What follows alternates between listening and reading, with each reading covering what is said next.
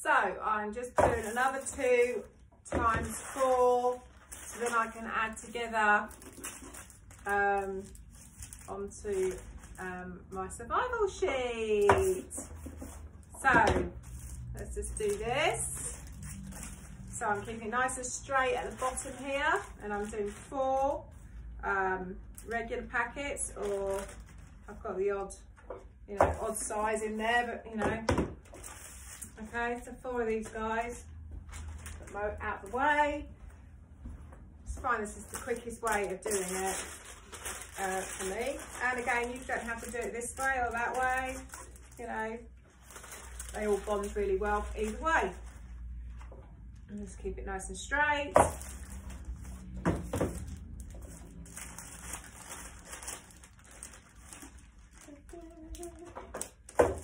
There we go.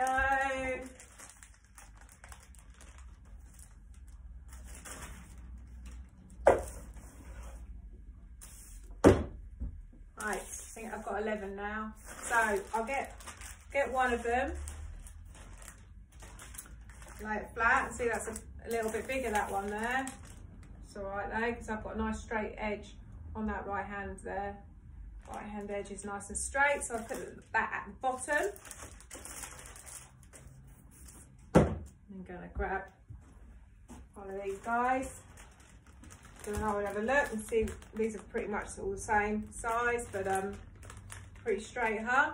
So then I would put that in the middle, but obviously one side, if one side is longer than the other, just check that one side is straight. Just aim with one, one side straight and don't worry about the other side. And just go in the middle of your crisp packets. and then to the other side. Or whatever side, if you're right-handed, left-handed, you might find it easy going that way.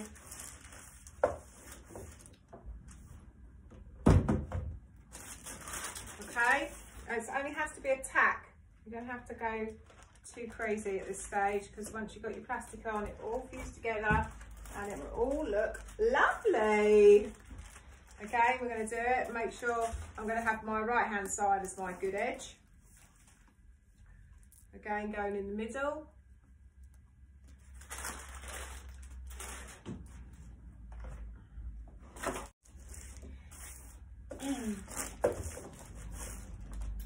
okay, so there you go, that's three.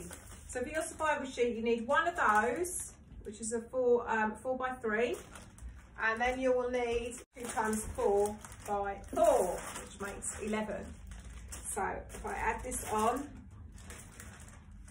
here. So look, got slightly bigger packets there. Can you see that? But I've got a straight bottom edge. And I'm going to um, add this on and I'm going to keep it nice and straight.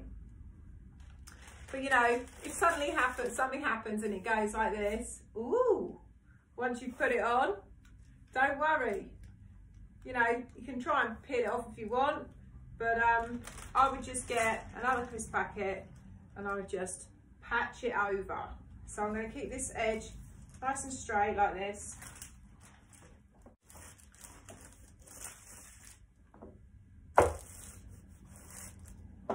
And again to the left. That's a three. Okay, have another one make the four.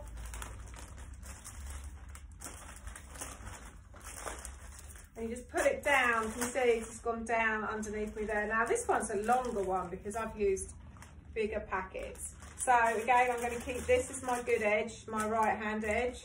So I'm going to add that one onto my right hand side. So this will be longer on my left. And then afterwards I can trim that up and sort that out at a later date.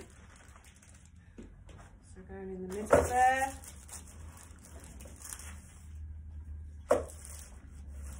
right, the left.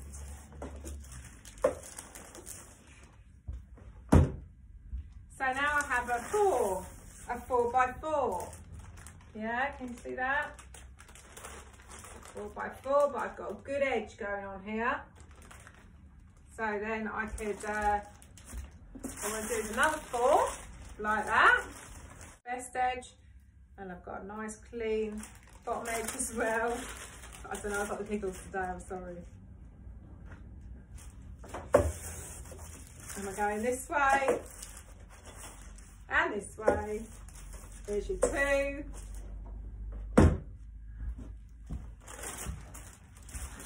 Where's your straight edge? There's your straight edge. Okay. On we go onto there. There's your straight edge on your right hand side. In the middle.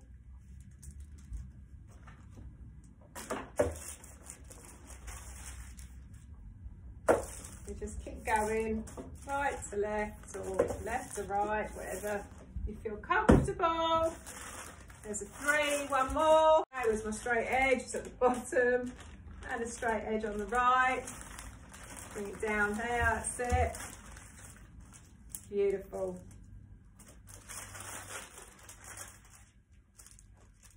It's so easy, guys. This is survival sheet. 11 by 4 regular packets or 100 centimetres wide by 200 centimetres long. And there's four times four there. And then we're going to get the other four and add that on, okay? Right hand side or whatever side you allocated your straight edge to be. Okay, and we're going to add that on again in the middle, keeping your straight edge. And we'll keep also, it's really good idea, keep the central line of it as well. So especially if you've got a good straight table. Line it up in the middle. There we go. And then to the right. Try just doing this seam. The more heat you put on these crisps, the more they will shrink, obviously. Um, and you've still got quite a bit of plastic to go to get onto them, haven't you? So that's an eight, eight by four so far, okay? And it's getting bigger. And then we're gonna put another three, four by three on there to make that the 11. Again, we've got the straight edge on my right hand side. Um, lovely jubbly. Again, keeping it all central.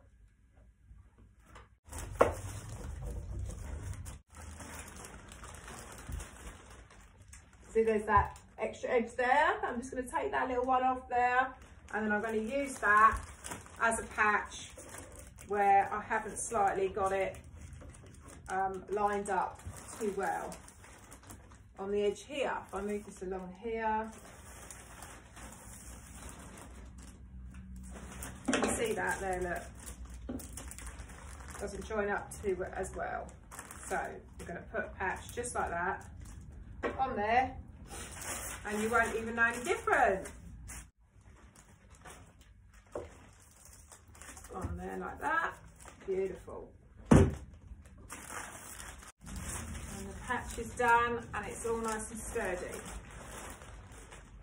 Okay, so that is 4 by 11. That's a survival sheet. Um, and then you'll need to get some plastic on the front and the back of that and leave two to three fingers my big chunky fingers, all the way around um, your survival sheet um, so that you can fuse it a bit like a, a toasted sandwich. Um, this is the filling and the plastic is the bread. Um, really quick, really simple. Once you um, get used to doing all your crisp packets, washing them, cutting them open, this will um, help someone, save their life as well as um, protect them from the elements um, for our less fortunate community. I hope that's a little bit more clearer. Thanks. Keep well.